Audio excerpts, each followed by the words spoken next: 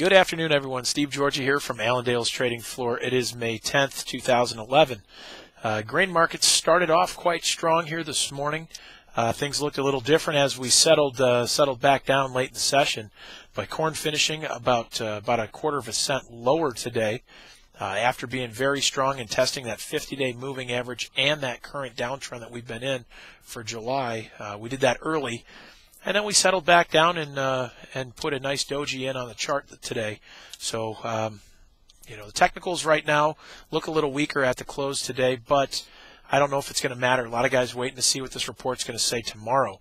Looked like guys were in buying early, and when we were not able to go through resistance, they ended up selling it late in the session. Uh, same thing there in beans. Beans finishing three cents higher, very strong early in the day, drifting lower for the rest of the day, and, and settling only a few higher there. A lot of guys anticipating to see what USDA uh, will release tomorrow morning at 7:30. And then for wheat, wheat was very strong early on, up about 25 cents for Chicago wheat, uh, finishing eight and a quarter higher. So just like the rest, we did see a pullback here as we went into the close. Uh, you found early strength and uh, guys taking some profits as we got closer to the close. Uh, so nothing, nothing too big there. Some things that we're going to be watching tomorrow as far as grains. Uh, you've got some estimates for corn.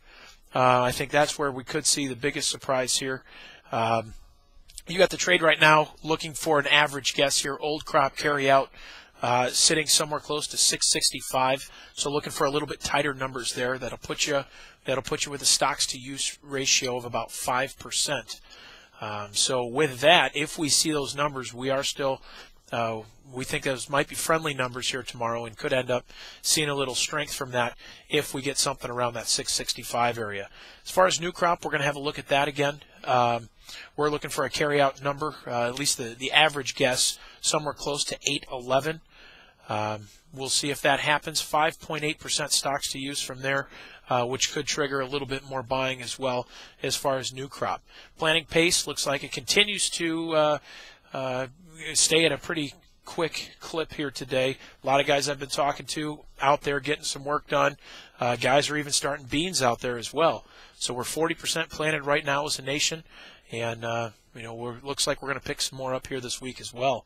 But as far as some of the outside markets and some of the other influence we've seen, crude oil up another $1.32 right now, putting us near 104 a barrel. Kind of amazing that it's almost $10 off of the lows that we made here late last week.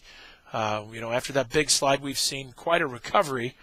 Um, and the dollar down about nine cents today puts that at 74.81. We were not able to take out yesterday's lows, 74.60. Um, so we're still chopping uh, sideways to a little higher here. Um, the trend is still down for the dollar, but we've got a lot of concern over there with, with the euro, um, and you're finding a lot of volatility over there that's affecting our dollar here. As far as metals, strong day all around. Uh, we did have a little setback earlier in the day, but gold right now sitting about $14 higher. You got silver up $1.62 right near their highs today.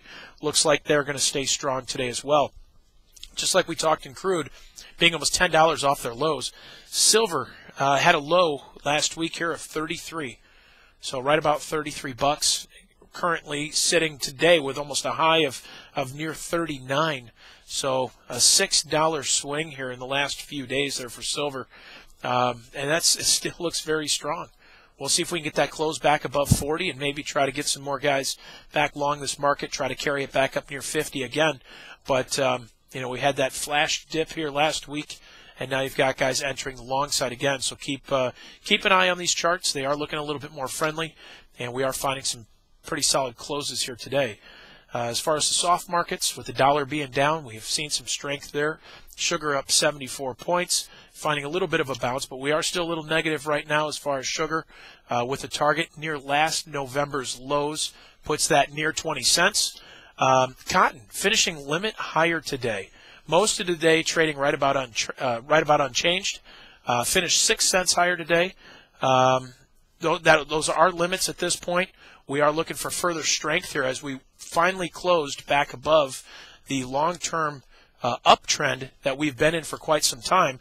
We've found some strength and we're able to close back into that trend, and uh, that may take us a little bit higher. Now, USDA's numbers tomorrow may try to uh, may have some bearing on price again, but we are getting a little bit oversold here for cotton and may find a little strength there.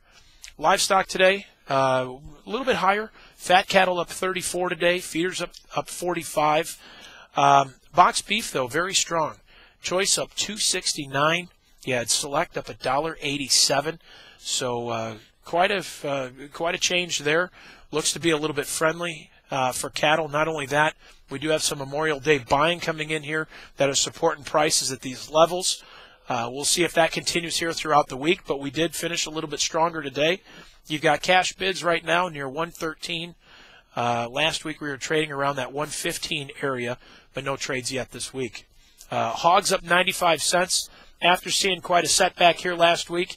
Finally finding some support, maybe trying to put a little bit of a bottom in in here. Um, you know, we've got Memorial Day buying there as well in the hogs.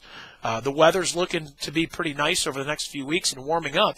So that may get guys outside, get on the grills here, and start bringing that demand back into the livestock. And we'll see if that is the case or not. But uh, give us a call over here with any questions that you may have. Uh, reach us here at 800 262 7538. Or always, this information is right there on the web for you at allendale inc.com. And I hope you had a great day today and have a great rest of the week. Take care.